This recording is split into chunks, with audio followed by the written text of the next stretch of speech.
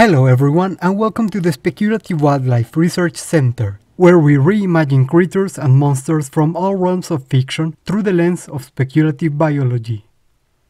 Today we will be looking at mermaids, those famous half-woman, half-fish legendary creatures cited by sailors all over the world, as well as their masculine counterparts, the mermen.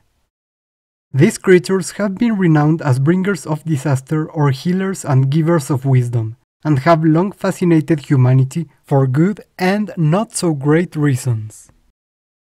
While nowadays it is commonly accepted that most sightings of these creatures could have been misinterpretations of regular marine creatures, especially seals or manatees, I wanted to go a different route to make these creatures extra special. So thank you everyone who suggested these creatures, and let's get ready to see what they could be like as real living animals. Also, if you're enjoying these videos, please consider supporting the channel by liking and subscribing, or by donating on Ko-fi, link available in the video's description. And, as always, I will be giving some design and biology notes at the end, so please stay if that is something that interests you. Now, without further ado, let's get started.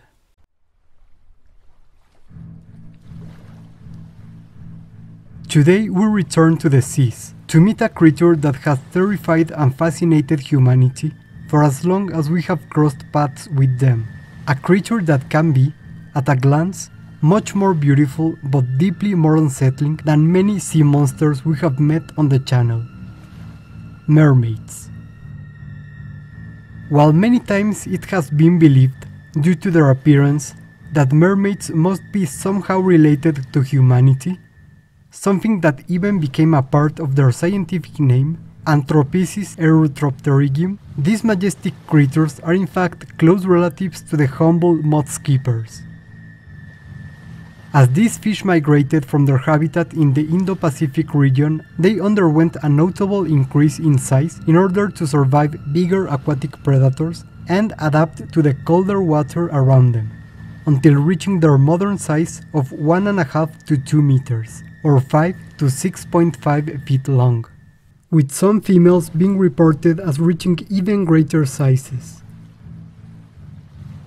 However, in order to still be capable of moving on land, their already heavily developed pectoral fins, as well as the muscles associated with them, have become even stronger, allowing them to easily climb and walk on land, aided by their long muscular tail, and a series of bone spurs growing out of their pectoral fins, which help them hang onto rocks when on land.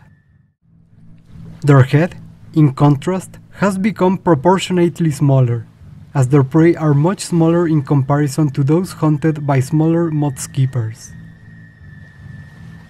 When seen superficially, swimming under the water surface and with their ornaments hidden, it is not strange that many sailors have confused these creatures with seals and manatees. But more than once, their slow swimming has led to them being confused with drowned human beings, leading to many unfortunate sailors to launch into the water to help, only to be immediately attacked by these fish. While mermaids share a wide territory with other individuals of their species, they are not especially sociable, and will constantly make loud calls to delimit their own turf.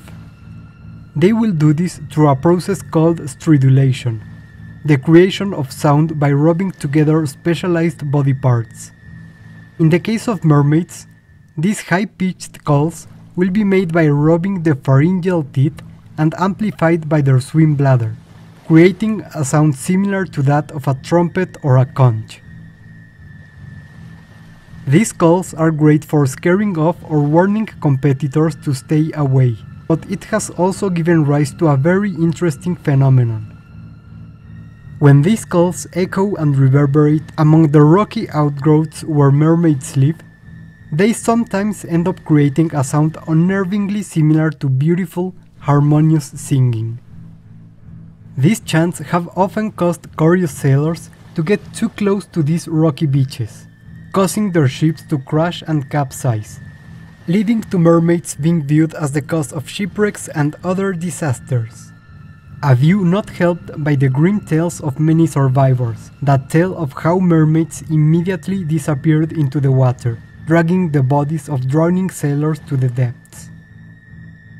In fact, it seems like mermaids living near human populations with lots of fishing and sailing have adapted to this source of food, often calling in unison upon sighting ships.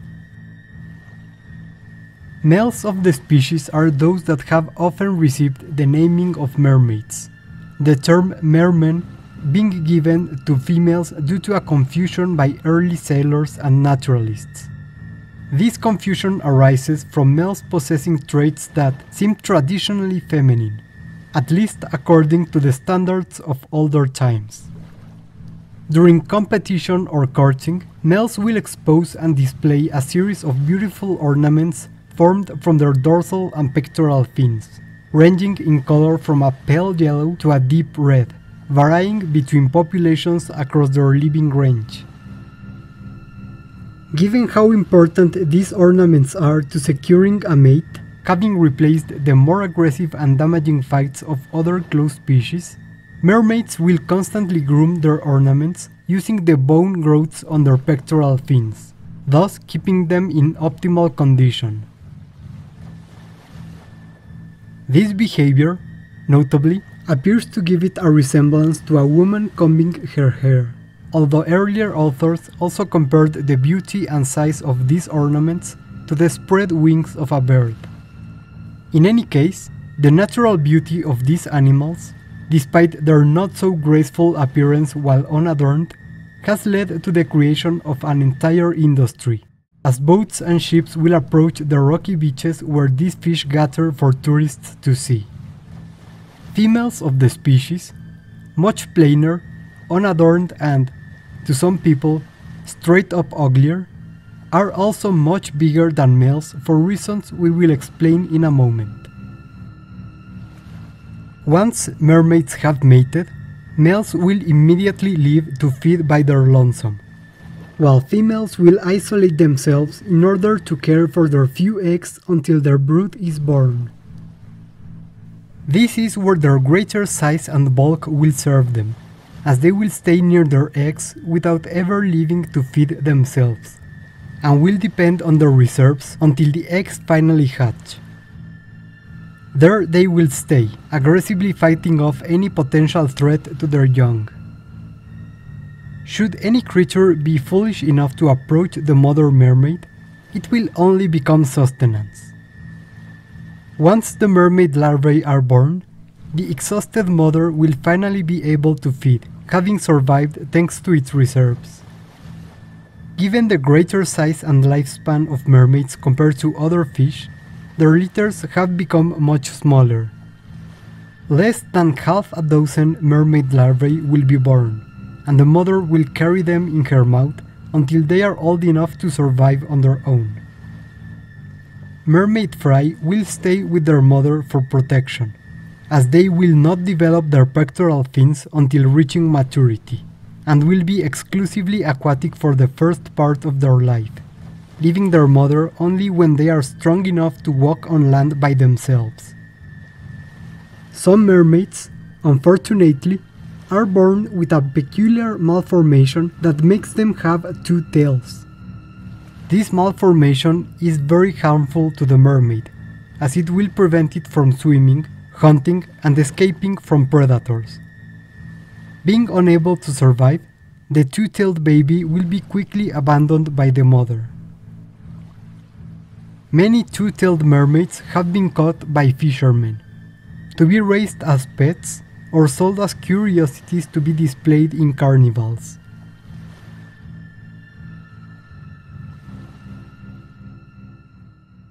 And that's it for speculative biology look into mermaids.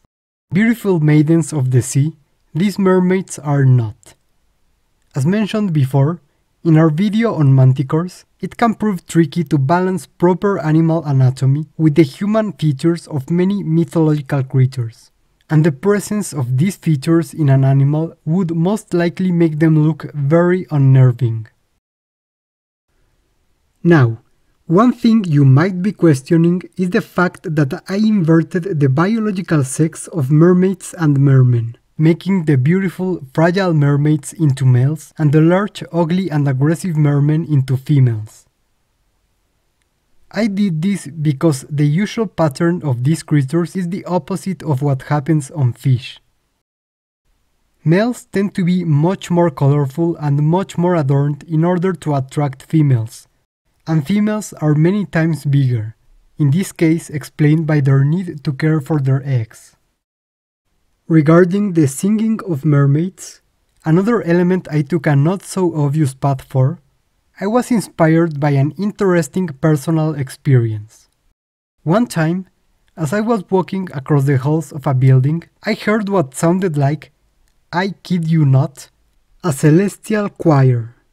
As I kept walking, I realized the chorus was coming from downstairs, exactly where I was heading.